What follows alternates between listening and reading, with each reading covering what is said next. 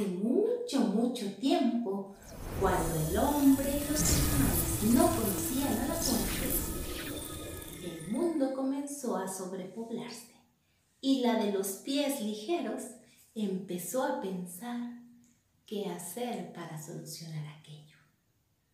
¿Qué sé? Voy a tomar un mecate y haré que todos brinquen conmigo. Llamaré al hombre y a los animales los retaré a saltar hasta que se cansen y mueran exhaustos. El que se dé por vencido hmm, irá muriendo.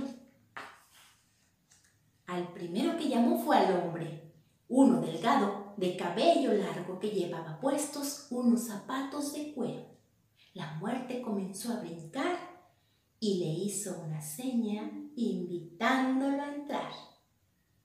Brinca y brinca el hombrecillo, burlándose de la muerte, con pito de molinillo. Se quedó tieso e inerte. Al hombre se le acabó el aire y murió. Pero la muerte miró de reojo. Como dicen en mi pueblo, le echó el ojo de frijol a los zapatos que llevaba el hombre. Se los quitó con cuidado, ella se los puso y amarró sus agujetas de bejuco. Ahora qué pasa el chango viejo. El chango enrolló su cola y corrió como un equilibrista sobre la rama donde se encontraba. Después se aventó de un salto.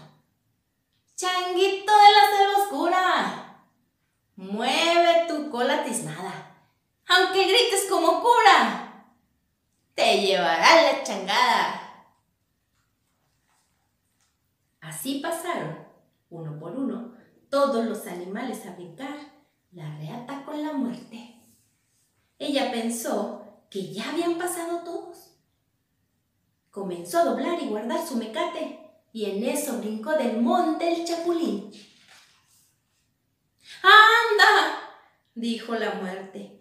A ti comida de oaxaqueños, te traigo ganas. Y el chapulín comenzó a brincar. Baila conmigo este son, chapulín bella figura.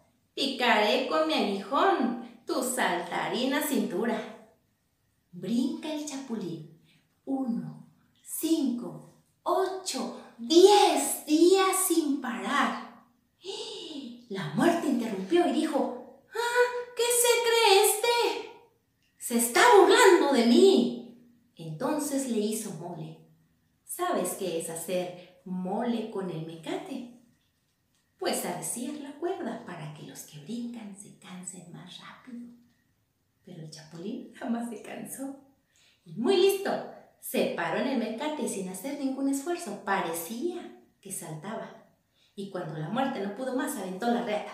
Se quitó los zapatos, los tiró y se fue bien enojada. Al chapulín, en cambio, le quedaron tantas ganas de brincar brincando para siempre. Pero la muerte se enojó, tiró los zapatos y se fue. Por eso dicen que cuando la muerte entra en las casas, no se le oye llegar, porque sus pies son ligeros y no llevan zapatos. Y colorín colorado, este cuento se ha terminado.